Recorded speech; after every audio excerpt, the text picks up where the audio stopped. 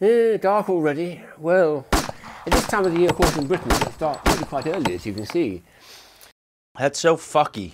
Isn't that fucky? That's a word that we kind of need to put out there a bit more, saying things are fucky. Show you some of them. They're all a bit bizarre, some of them. This one, for instance, is the earliest one I ever picked up. Ooh, back in my childhood, I think it's the old, yes, the old whoopee cushion. Extraordinary. You put this married after years of simply investigating the idea. They now live in Colorado, where they take vacations with their dogs, Shelna and Scoopy. Looks like we've got another mystery on our hands. And the first thing to do is find Mr. Sims.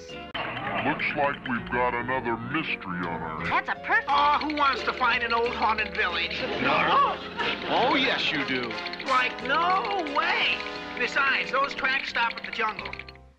We can follow them in the jungle, thanks to Scooby's keen tracking nose. oh, we can follow them in the jungle. Too bad. This Scooby snack smells delicious. A Scooby snack?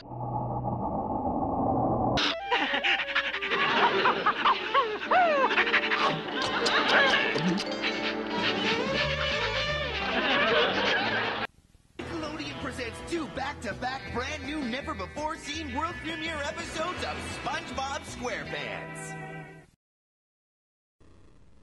SpongeBob, what are those things over there? Those are called credits, Patrick. They come at the end of every episode of Rugrats. Well, make them stop. I don't want Rugrats to be over. Not to worry, friend. The credits also mean there's another episode of Rugrats coming up on the Nicktoon Summer Splash after a few short commercials. At least I hope they're short. Yay, Rugrats! Yay, credits!